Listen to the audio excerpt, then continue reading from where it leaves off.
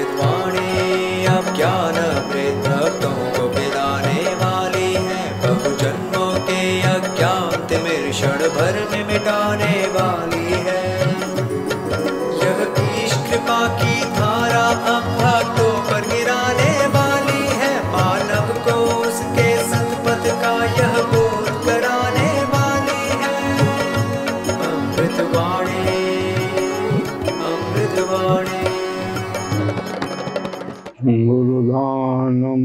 गुरुधानमस्तु संसेव्या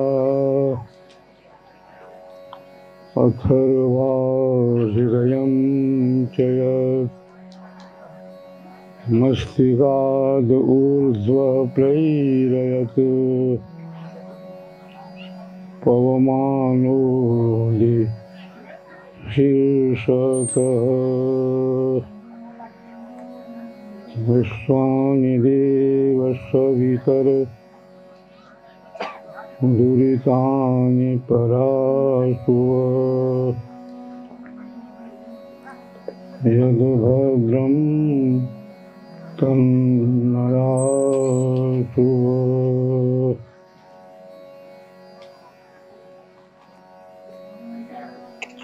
सदगुरु के प्यारे भक्त शिष्यों मातृशक्ति देवियों, बच्चों, कैसी शुभ घड़ी है, कैसी शुभ वेला है। आज हम सभी एक ऐसी पवन पारम, पावन भूमि पर उपस्थित हैं। जहाँ से संपूर्ण विश्व को आध्यात्मिक संदेश दिया जाता है।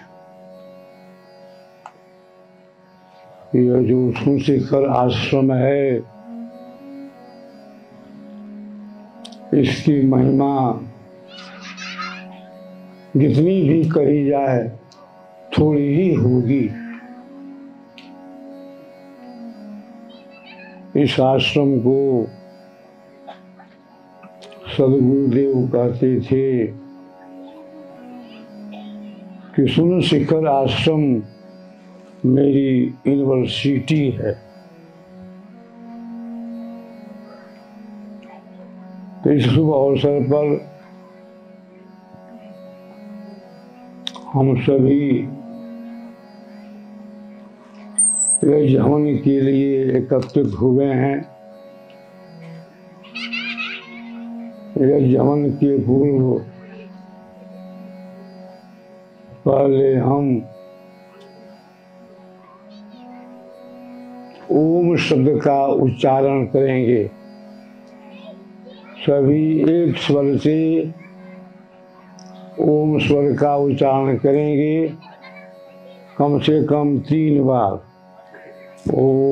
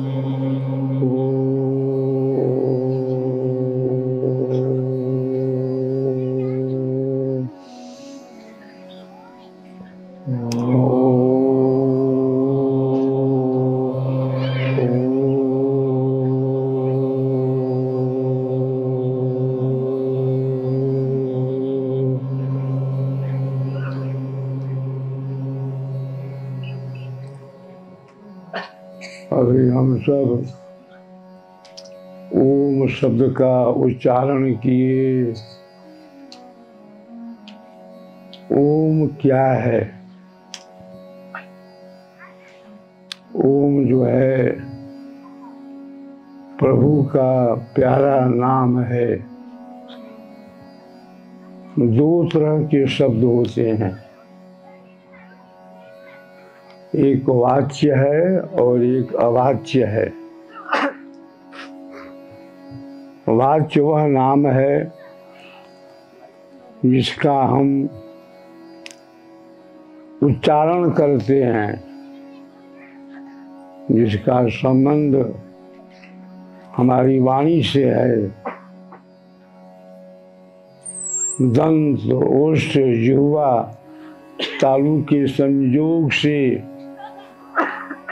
हम ओम शब्द का उच्चारण करते हैं। ओम जो है, प्रभु का, परमात्मा का वाच्य नाम है। एक और नाम है, जिसका संबंध हमारी वाणी से नहीं है, हमारी जीवा से नहीं है, हमारे तालु से नहीं है हमारे उष्ट से नहीं है, उसी कहते हैं अवाच्य वाणी जो जपा नहीं जाता, जो अजपा होता है ओम जो शब्द है, बना है अवधातु से। अवते टीलोपश्च सूत्र से मन प्रत्यय होने पर ओम बनता है। ओम मतलब रक्षा करना। हे प्रभु, तुम मेरे रक्षक हो। अवति रक्षाधिकम करो इस ओम प्रणव। जो प्रभु, मेरी हर तरह से हर काल में रक्षा करता है। उस परम प्रभु, परमात्मा का वाचक नाम ओम है। ऋषि कहते हैं, तस्य वाचक प्रणव।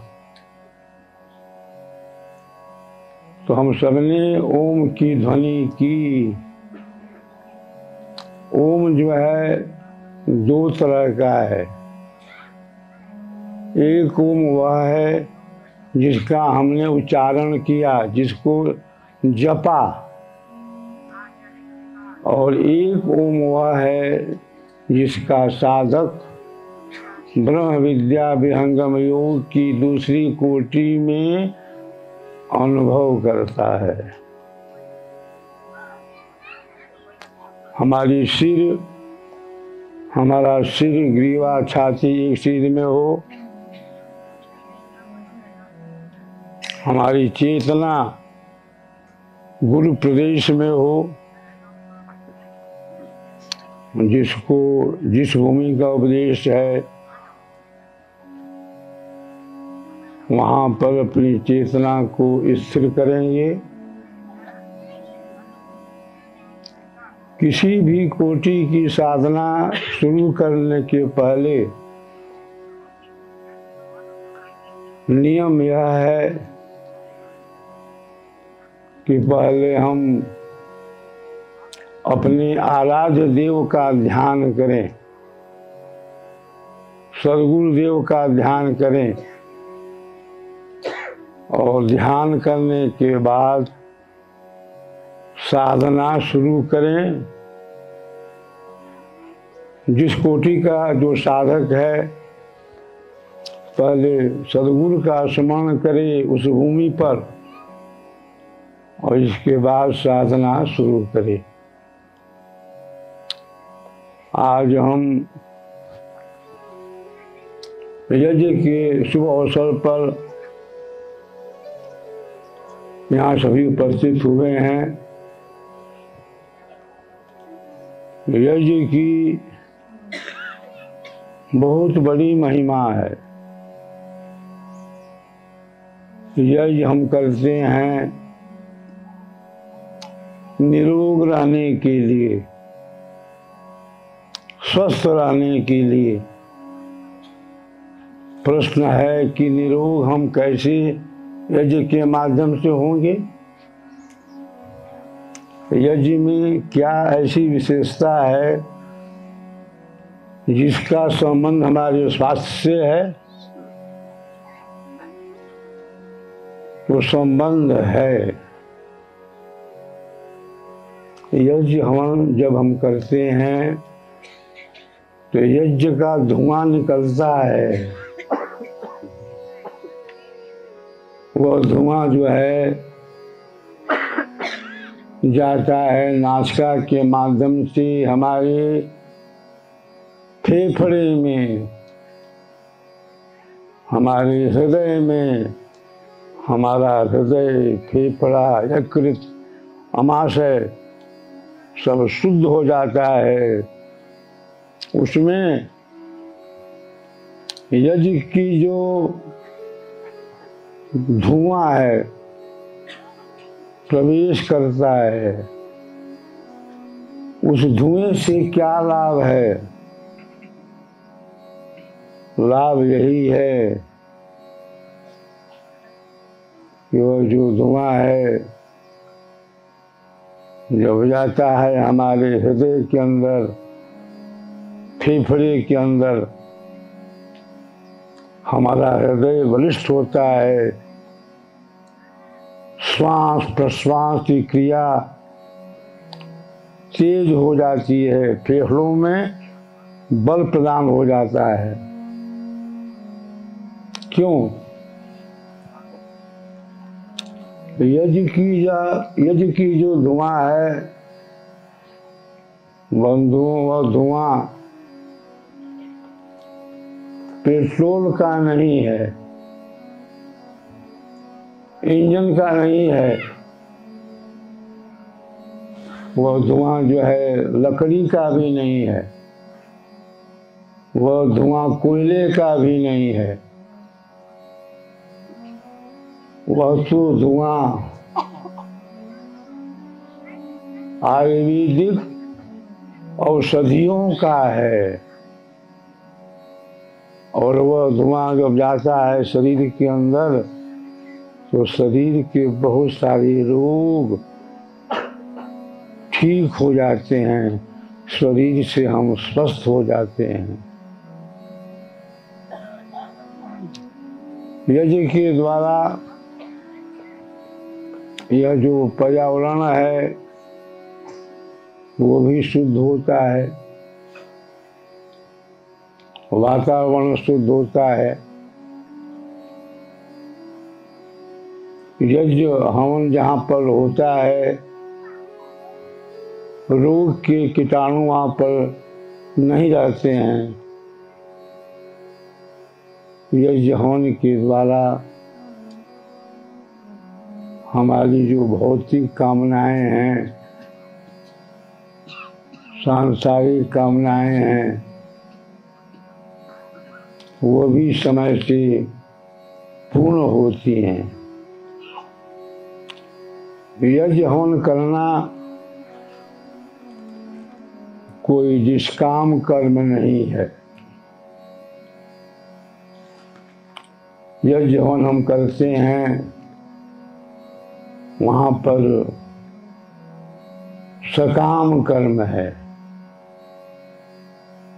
यज्ञ करने के पीछे हमारी आपकी कुछ कामनाएँ हैं। उन शुभ कामनाओं की पूर्ति के लिए भी हम यज्ञ हवन करते हैं। इस संसार के अंदर जितने भी शुभ कर्म हैं, उन सभी शुभ कर्मों में यज्ञ हवन करना सर्वश्रेष्ठ कर्म है। ऋषियों ने कहा, स्वर्ग कामो यजेत। जिसको स्वर्ग की कामना हो अथवा जो स्वर्ग की कामना रखता हो, वह प्रतिदिन यज्ञ हवन करे। स्वर्ग से क्या मतलब है? सांसारिक सुख, भौतिक सुख की उपलब्धि। यज्ञ हवन के द्वारा हम प्रभु से, परमात्मा से प्रार्थना भी करते हैं। यज्ञ हवन के समय जो वैदिक मंत्रों के द्वारा हम परम प्रभु से, सदगुरु से प्रार्थना करते हैं कि हे प्रभु, हमारे अंदर जो दुर्गुण है उसको दूर कर दो और हमारे अंदर सदगुण का प्रवेश हो। हमारी भावना शुद्ध हो। प्राणी मात्र के लिए दया की भावना हो, परोपकार की भावना हो। ऊंच नीच का भाव मिट जावे। छोटे बड़े का भाव मिट जाए। मानव जाति ही एक है। यज्ञ होने के द्वारा हमारे जो भी पुरातन ऋषि महर्षि हैं। उनमें से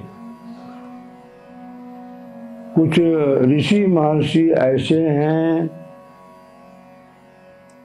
जो आज भी भ्रमण कर रहे हैं। अंतरिक्ष में अव्यक्त रूप से हैं। जब हम यज्ञ हवन करते हैं तो हमारे ऋषि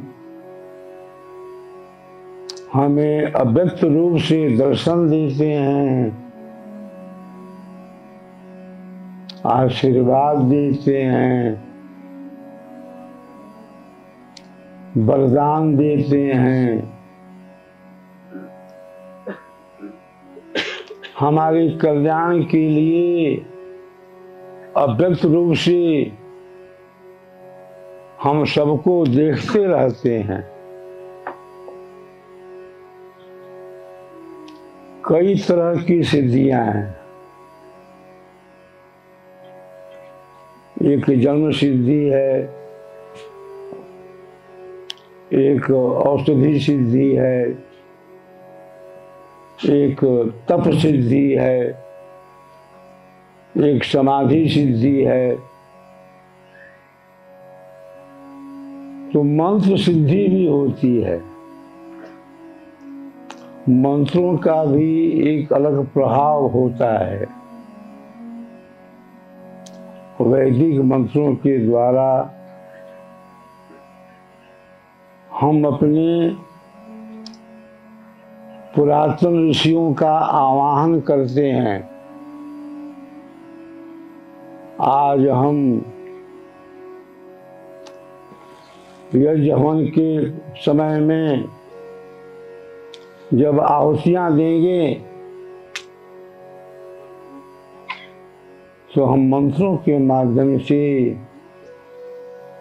ऋषियों का आवाहन भी करेंगे। प्रत्येक मंत्र के तीन तरह के अर्थ होते हैं। अद्वैरिक आध्यात्मिक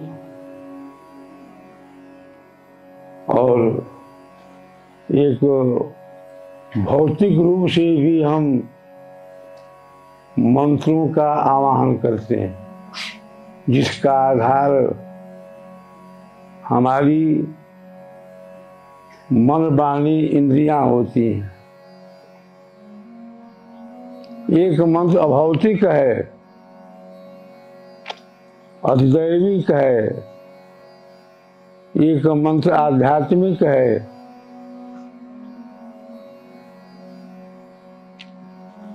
सभी मंत्रों के ऋषि भी अलग अलग हैं। किसी मंत्र के ऋषि भृगु हैं।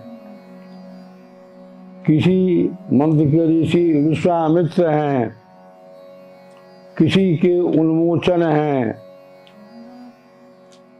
बहुत सी ऋषिकाएँ भी हुई हैं। मंत्रों की जो दृष्टा थी। तो मंत्रों में भी एक सिद्धि है। मंत्रों में भी एक बल है, एक ताकत है। वैदिक मंत्रों के द्वारा हम ऋषियों का क्या करते हैं? आवाहन करते हैं। आवाहन करने की भूमि भी दो तरह की होती है। पहली विधि है वहाँ पर, जहाँ पर हमारी इंद्रियाँ हैं, जहाँ पर हमारा मन है। और एक विधि वह है जिसका आधार मन, बुद्धि, इंद्रिया नहीं है, जिसको विहंगम योग के प्रणेता सदगुरु सदाफल देव जी महाराज ने कहा कि यह मेरा अध्यात्म यज्ञ है। तो जो अध्यात्म यज्ञ है उसका संबंध जड़ जगत से नहीं है, भौतिक जगत से नहीं है। उसका जो संबंध है, चेतन भूमि से है, चेतन आधार से है, चेतन मंडल से है। यज्ञ की जो संस्कृति है, बहुत पुरानी है। हर काल में यज्ञ हवन होते आए हैं। यज्ञ किया था, असुरों ने भी यज्ञ हवन किया था, देवों ने भी। दोनों के यज्ञों में अंतर है। ऋषियों द्वारा जो यज्ञ होता है, उसके अंदर सबके कल्याण की भावना होती है। असुर जो यज्ञ करते हैं, उनकी भावना अशुभ होती है। उनके अंदर ईर्ष्या है, द्वेष है। वैमनस्व है। उनकी भावना बड़ी कुत्सित है। दूसरों का अशुभ करने के लिए वे लोग हवन करते हैं। और हमारे जो ऋषि हैं, जो देव हैं, वो सबके शुभ कामना की, मंगल कामना की कामना करते हैं। कि सभी प्राणी मात्र सुखी रहें, स्वस्थ रहें, निरोग रहें। वेदों के अंदर ऋषियों ने कहा, स्तुता मया वरदा वेद माता प्रचोदयंताम पावमानी द्विजानाम आयु प्राणम प्रजाम पशुम कीर्तिम द्रविणम ब्रह्मवर्चसम मह्यम दत्वा ब्रम ब्रह्मलोकम इस मंत्र के अंदर ऋषि कहते हैं कि हे प्रभु, हे परमात्मा मेरे अंदर स्वास्थ्य दो, मेरी आयु दो, धन दो, लक्ष्मी का वास हो, हमारी यश कीर्ति फैले। और हे ब्रह्म विद्या, हमें ब्रह्म वर्चस दो। हम जहाँ से आए हैं, वहाँ पर पहुँच जाएँ। वेदों के अंदर हम प्रभु से प्रार्थना करते हैं विश्वानि देव सवितर दुरितानि पराशुव यद भद्रम तन्नया शुभ हे विश्व के मालिक हमारे जो दोष हैं, हमारे जो दुर्गुण हैं, हमारे अंदर जो अविद्या है, अज्ञानता है, द्वेष है, ईर्ष्या है, कला है वैमनस की भावना है, इन सबको भगा दो, हटा दो। और हमारा शुभ कल्याण हो हमारी भावना शुद्ध हो, मंगलकारी हो। तो इस तरह से यज्ञ हवन की जो प्रक्रिया है इसके भी कई तरह के भेद हैं। यज्ञ हवन करने की जो प्रक्रिया है, उसमें कल्याण की भी भावना है। जो भावना हमारे ऋषिगण करते हैं, विद्वान गण करते हैं, और जो असुर हैं, नीच स्वभाव के हैं, वे भी यह झमन करते हैं। उनके अंदर कल्याण की भावना नहीं है, विनाश की भावना है। तो यज हवन में एक विशेष शक्ति निहित है। विहंगम योग के प्रणेता सदगुरु सदाफल देव जी महाराज ने भूमंडल प्रचार करने का जो संकल्प लिया, उसके पहले एक लाख मंत्रों से यज्ञ हवन किया, लक्षावती यज्ञ किया। इसके बाद भूमंडल प्रचार का आरंभ किया।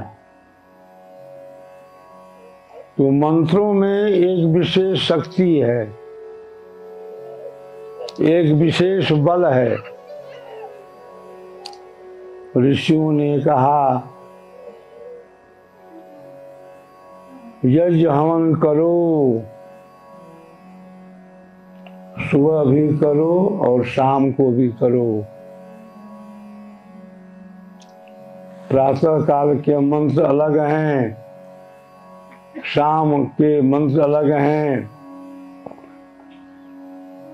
सदगुरु सदाफल देव जी महाराज ने अध्यात्म यज्ञ किया था। अध्यात्म यज्ञ, वह यज्ञ है। जिसका संबंध चेतन धरातल से है, चेतन भूमि से है। यज्ञ हवन के अंदर तीन तरह के लोग रहते हैं। एक तो वे हैं जो हमसे बड़े हैं आयु में। दूसरे वे हैं जो समान आयु के हैं। तीसरे वे हैं जो हमसे आयु में छोटे हैं। हमसे जो आयु में बड़े हैं, उनका हम कैसे सम्मान करें? उनका हम कैसे आदर करें? यह शिक्षा मिलती है यज्ञ हवन के द्वारा। जो समान आयु के हैं उनके साथ हमारा संबंध कैसा हो, दोस्ती का हो, मित्रता का हो, और जो हमसे छोटे हैं आयु में, उनको हम क्या करें? प्रेम दें, स्नेह दें, प्यार दें। यह शिक्षा कैसे मिलती है? यज्ञ हवन के द्वारा। हमारे अंदर शुभ भावना का उदय कैसे होगा? शुभ विचार के हम स्वामी कैसे बनेंगे? जब हम प्रतिदिन यज्ञ हवन करेंगे, देवों का आवाहन करेंगे ऋषियों का आवाहन करेंगे। तन में मन शिव संकल्प वस्तु। ऋषि कहते हैं कि हमारा जो मन है, वो कैसा हो? अच्छे संकल्प वाला हो, अच्छे विचार वाला हो। यज्ञ जो शब्द है, इसका होता क्या है? देव पूजा। संगतिकरण और दान। देव कौन है? ऋषियों ने कहा, मातृदेव भव, पितृदेव भव आचार्य देव भव, मातृमान, पितृमान, आचार्यमान, पुरुषो वेद। वे भी देव हैं, जो हमें दिखाई नहीं दे रहे हैं। लेकिन उनकी जो शक्ति है, अव्यक्त रूप से कार्य कर रही है, उनकी भी प्रार्थना हम करते हैं, उनकी भी हम पूजा करते हैं। उनका भी हम आवाहन करते हैं। प्रकृति मंडल के अंदर सूर्य भी देव है, चंद्र भी देव है, अग्नि भी देव है, जल भी देव है। देवों की भी कई श्रेणियाँ हैं। देवों के भी कई धरातल हैं। कुछ देव ऐसे हैं जो प्राकृतिक देव की संज्ञा में आते हैं। कुछ देव ऐसे हैं जिनको हम आध्यात्मिक श्रेणी में मानते हैं। देव कौन होता है? जो हमें कुछ देता है। जिसके द्वारा हमें कुछ प्राप्त होता है, उसे हम देव कहते हैं। गायत्री मन के अंदर क्या है? ओम भूल भुव स्व तत्सवितुर्वरेण्यम भर्गो देवस्य धीमहि धियो यो न प्रचोदयात। इस मंत्र के अंदर शब्द आया है देवस्य। देवस्य जो शब्द है, वह देव का सूचक है। दिव्य तीति देव, जिसके अंदर दिव्य गुण है, वही देव है। देव शब्द के भी कई अर्थ बतलाए गए हैं। दीव, क्रीडा, विजिगीषा, व्यवहार, द्युति स्तुति मोद, मद, स्वप्न और कांति। ये देव शब्द के नौ अर्थ होते हैं।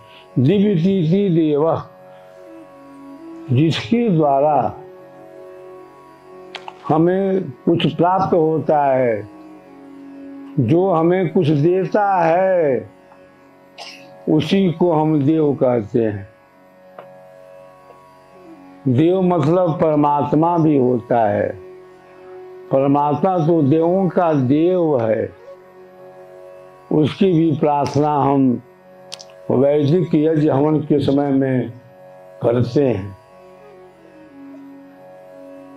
तो यह जो यज्ञ हवन है,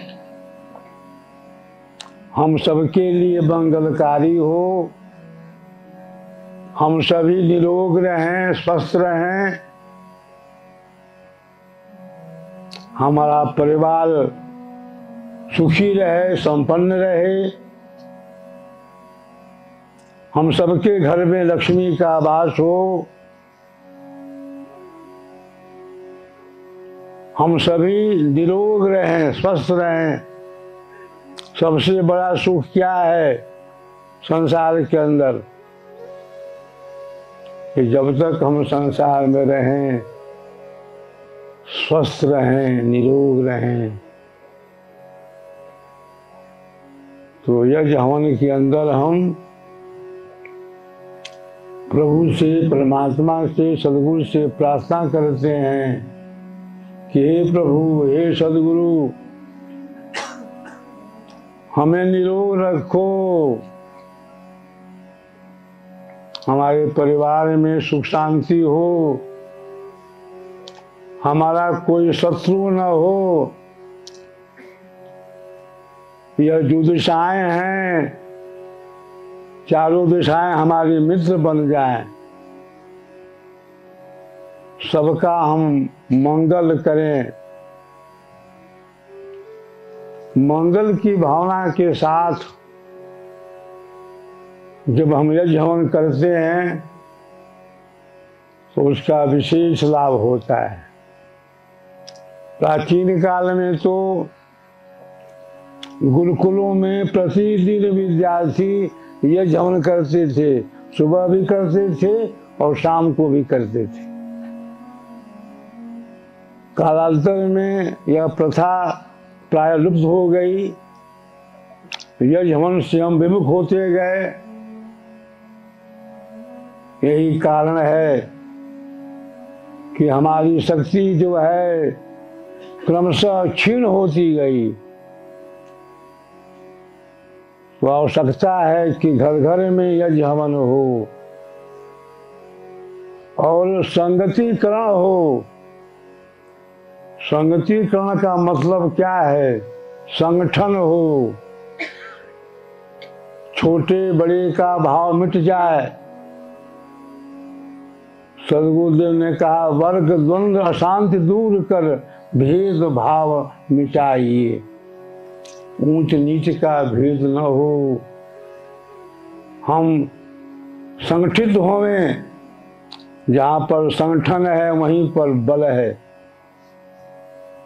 तो यज्ञ हवन के द्वारा हमें प्रेरणा मिलती है कि हम किस तरह से बड़े का, समान आयु का और छोटे का ध्यान रखें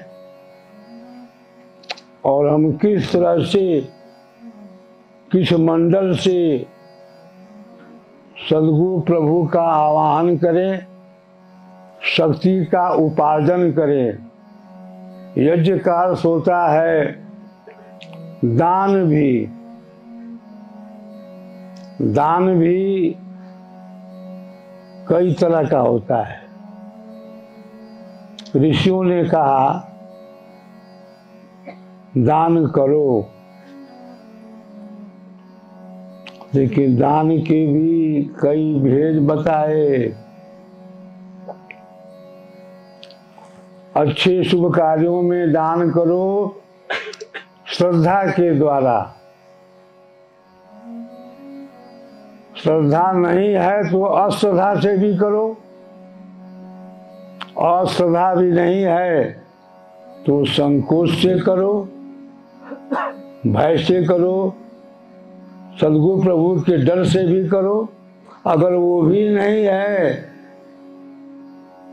तो फिर क्या करो? किसी भाव से तुम्हें दान करना है।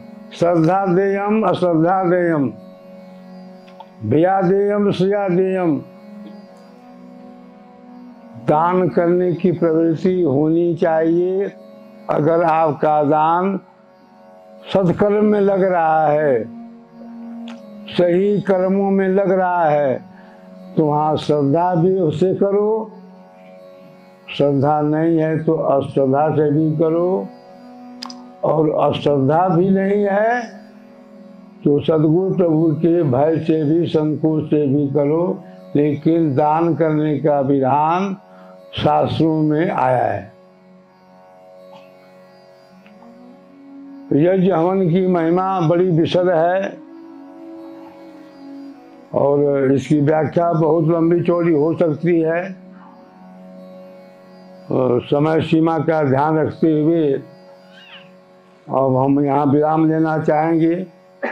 हमारे संस्थान के जो उच्च कोटि के विद्यार्थी हैं यज्ञ हवन करता हैं अभी अब हवन यज्ञ का आरंभ करेंगे।